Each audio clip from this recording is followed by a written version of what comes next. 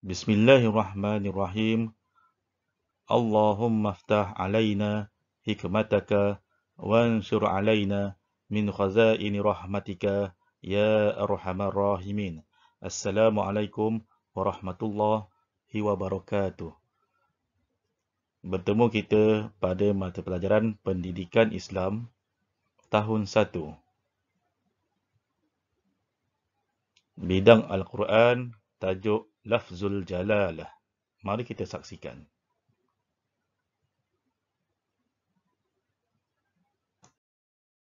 Sebelum itu, mari kita fahami apa yang dimaksudkan dengan Lafzul Jalalah. Baiklah, Lafzul Jalalah itu bermaksud kalimah Allah yang terdapat di dalam ayat Al-Quran. Diulang lagi sekali, kalimah Allah yang terdapat di dalam ayat Al-Quran. Contoh, seperti perkataan Wallahu. Yang kedua, Wajhullahi. Lihat pada perkataan ataupun kalimah Allah. Ini yang dinamakan lafzul jalalah. Lafzul jalalah ini mempunyai dua cara bacaannya. Yang pertama disebut sebagai tagliz. Diulang lagi sekali, tagliz.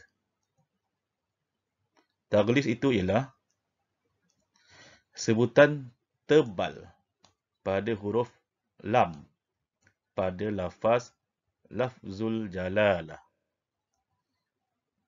Cara bacaannya ialah kalimah Allah didahului oleh huruf yang berbaris fathah ataupun berbaris atas. Yang kedua, didahului dengan baris dhammah ataupun baris hadapan. Dan selepasnya adalah kalimah Allah ataupun lafzul jalalah. Contohnya yang pertama, sekiranya didahului dengan baris fathah. Bismillahirrahmanirrahim. Qul huwallahu ahad. Diulang lagi sekali. Qul huwallahu ahad. Kita lihat sebelum perkataan Allah ini didahului dengan baris fathah. Contoh yang kedua, bagi baris dhammah ataupun baris hadapan, kalimahnya ialah wajhullah. Diulang lagi sekali, wajhullah. Tengok pada kalimah Allah. Sebelumnya ada huruf yang berbaris dhammah. Jadi ini yang disebut cara bacaannya tagliz.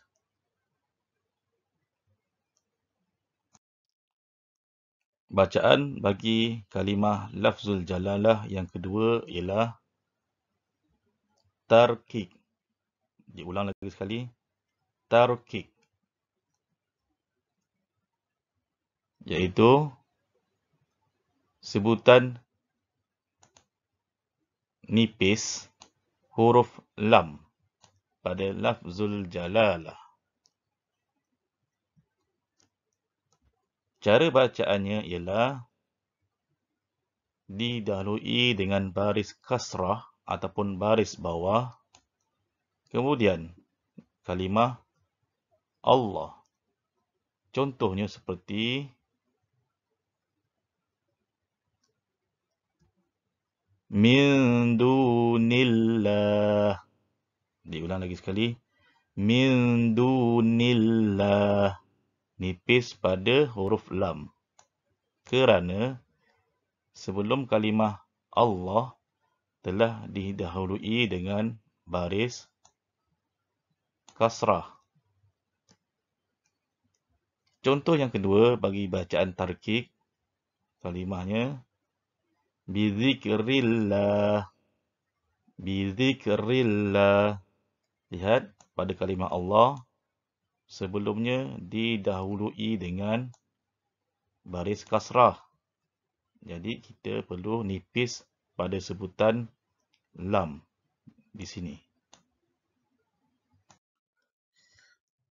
Mari kita baca dengan teliti contoh-contoh kalimah dan ayat. Yang pertama bagi kalimah lafzul jalalah dibaca dengan tagliz. Yang pertama dalam keadaan didahului dengan baris fathah. Contoh yang pertama Bismillahirrahmanirrahim. Wallahu Wallahu Kita lihat didahului dengan baris fathah pada waw. Contoh yang kedua, Qul huwallahu ahad. Kita ulang lagi sekali. Qul huwallahu ahad. Dibaca taglis kerana ya didahului sebelum lafzul jalalah huruf itu berbaris atas ataupun fathah. Contoh yang ketiga. Inna Allah sari'ul hisab. Diulang lagi sekali. Inna Allah sari'ul hisab. Kita baca secara taglis kerana sebelum lafzul jalalah telah didahului dengan baris fathah ataupun baris atas. Contoh yang keempat, Mada aradallahu. Kita ulang lagi sekali. Mada aradallahu. Kita baca serta gelis kerana huruf dal itu berbaris fathah. Baiklah, kemudian kita lihat lihat pada contoh uh, bagaimana kalimah Allah didahului dengan huruf yang berbaris dhammah ataupun berbaris hadapan. Kita lihat contoh. Wajhullah. Kita ulang lagi sekali. Wajhullah. Kita baca secara taglis kerana huruf ha itu berbaris dhammah ataupun berbaris hadapan. Ayat yang kedua, nahnu ansarullah. Kita ulang lagi sekali. Nahnu ansarullah.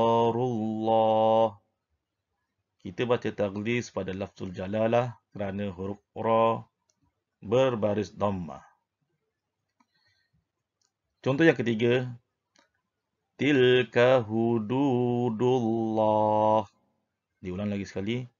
Tilka hududullah. Ya, dibaca taglis kerana huruf dal berbaris dhammah ataupun berbaris hadapan. Contoh yang keempat. Inni rasulullahi ilaikum. Kita ulang lagi sekali. Inni rasulullahi ilaikum. Dibaca taglis pada lafzul jalalah lam kerana sebelum itu lam berbaris dhammah ataupun berbaris hadapan. Sekarang mari kita lihat contoh yang berikutnya bagi bacaan tarkik iaitu dinipiskan sebutan lam pada lafzul jalalah. Ya. Mestilah didahului oleh baris kasrah ataupun baris bawah. Contoh yang pertama lillahi. Diulang lagi sekali. Lillahi. Kerana apa kita baca nipis ataupun tarkib? Kerana sebelum lam yang kedua lillah itu didahului dengan baris kasrah. Contoh yang kedua, billahi. Billahi.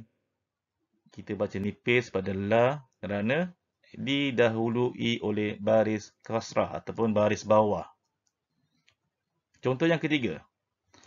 Min dunillah. Kita ulang lagi sekali. Min dunillah. Kita baca la nipis kerana didahului dengan baris kasrah. Contoh yang keempat. Lamai yu'minu billah.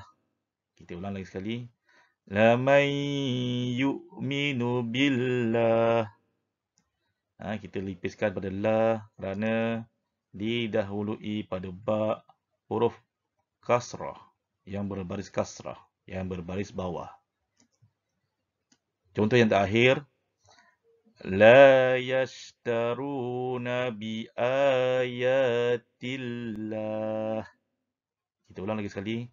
La yashtaruna bi ayatillah. Eh, kita nipis, nipiskan pada bacaan la tu kerana didahului sebelum kalimah Allah ataupun lafzul jalalah huruf yang berbaris kasrah ataupun berbaris bawah. Alhamdulillah. Semoga apa yang saya sampaikan anda dapat fahami.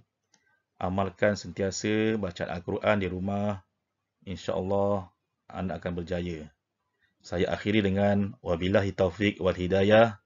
Wassalamualaikum warahmatullahi wabarakatuh.